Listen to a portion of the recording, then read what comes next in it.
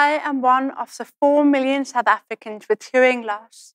And for many of us, we culture identify as deaf, deaf with a capital D that is, because we're a community of people who share South African Sign Language as our first language. And for many of us, it's our mother tongue. The deaf community has been lobbying for many decades to have South African Sign Language, SASL, formally recognized and added to South Africa's proud and teeming list of languages, and we are getting closer to achieving this goal. So, why should we care about sign language? Well, it should be an obvious answer, but the most important question is why should all South Africans care about sign language? I aim to simplify it in this talk because it's complicated. The word future and who is the future? Children, of course. And in this talk, I will focus on deaf children.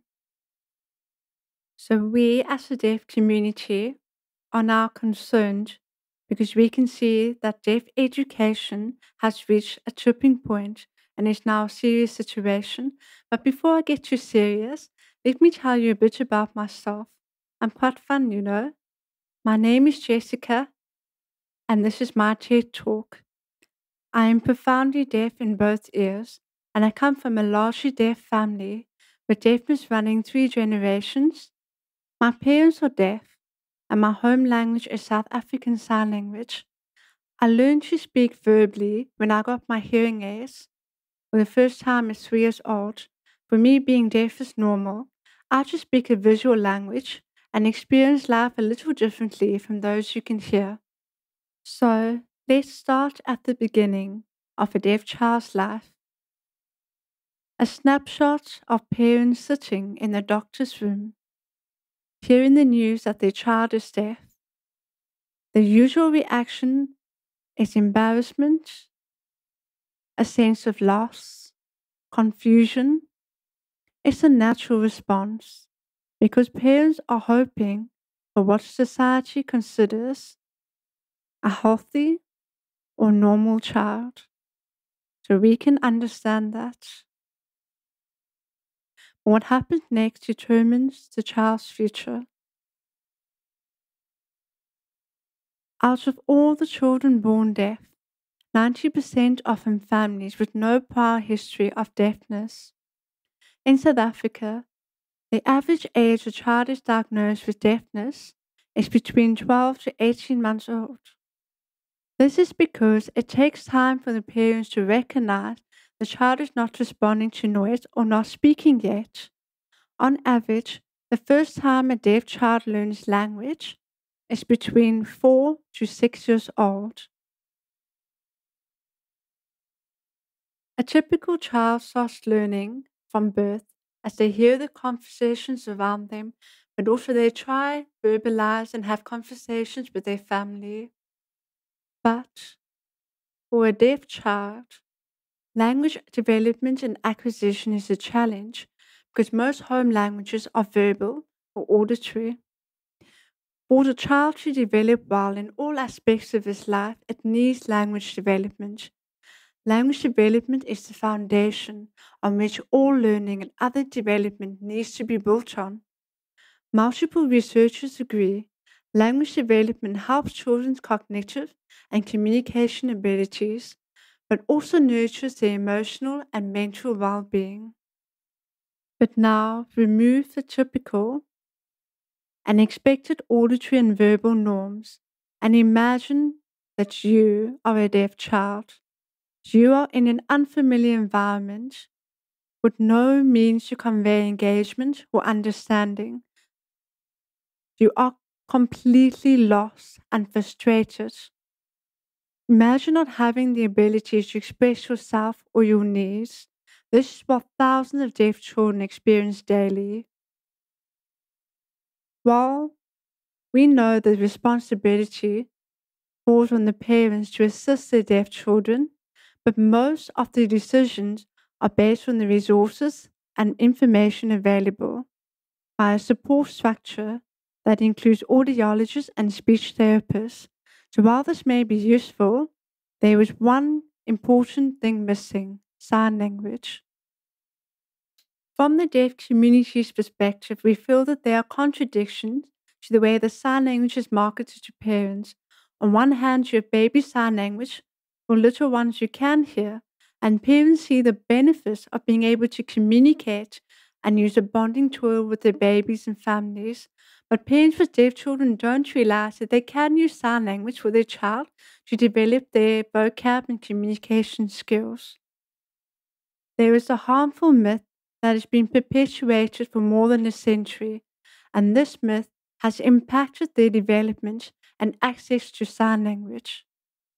This myth had people believing that if deaf children were taught sign language, and you had typical children you could hear or speak, they believed that they would never reach the same cognitive and linguistic ability.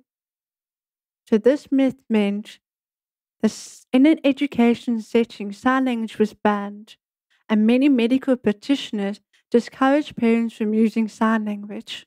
However, a variety of research emerged from international psychologists and childhood development specialists proving that deaf children benefit exponentially from exposure to sign language from as young as six months old. In fact, with exposure to sign language, they experience the same typical neurological development as children who learn auditory and verbal languages. This is great news because there is absolutely nothing wrong in teaching deaf babies and children sign language. There are incredible benefits to it, so much that it should not just be highly recommended, but mandated everywhere. Sign language should be the very first thing we begin using for our deaf babies and toddlers. Given its visual and kinetic nature, it is the ideal tool to build relationships between deaf children and their families. It also helps them to adjust to the environment like any child does. This adjustment and acceptance of deaf children is important being wholly embraced as a person, no matter your ability, and given the best opportunities.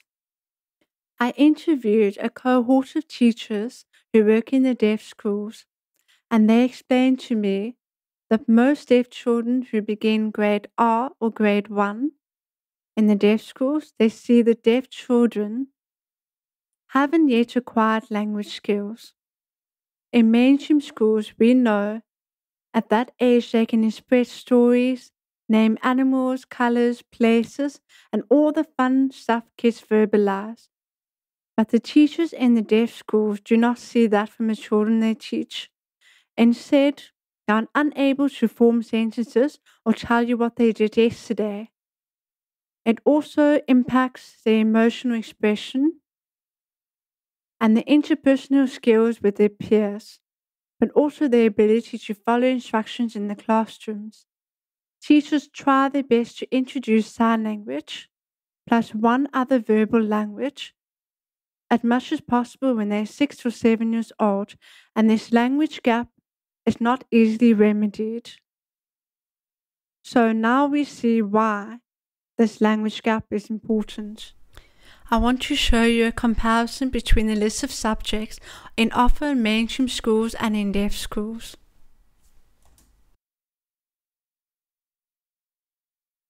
So, as you can see, there is quite a difference in subject offerings.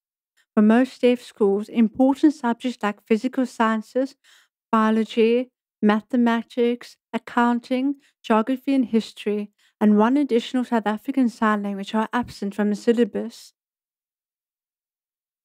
but also many school leavers aren't even aware of the possibilities of these subjects. In fact, in South Africa, only 20% of deaf school leavers have grade 12.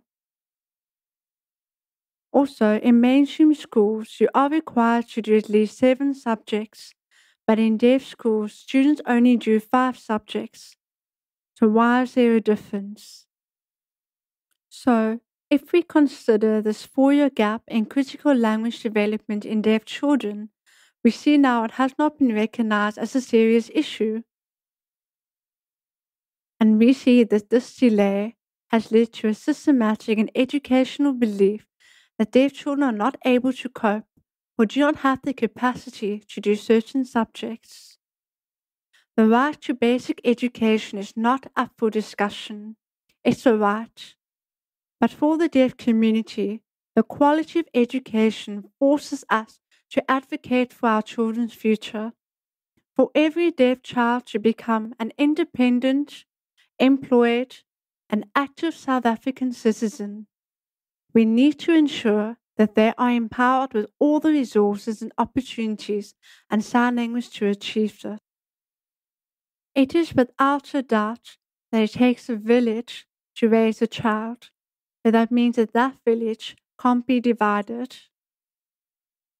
We know we have the support structures already present in our communities, such as parents and families with deaf children, along with the deaf community, We can work together to learn sign language and make sure it's implemented widely.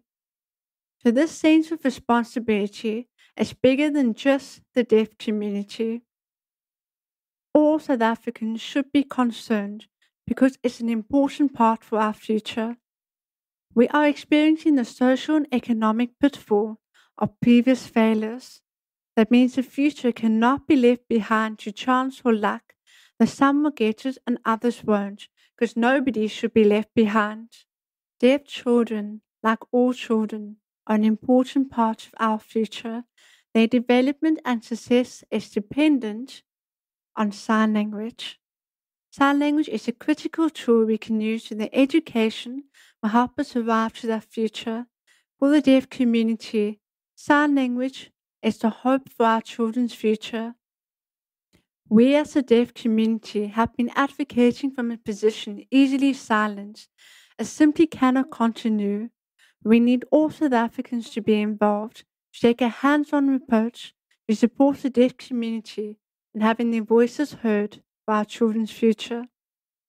This means that every citizen, government organization, and education institution has to be involved in making sure we take up this responsibility for our children's future.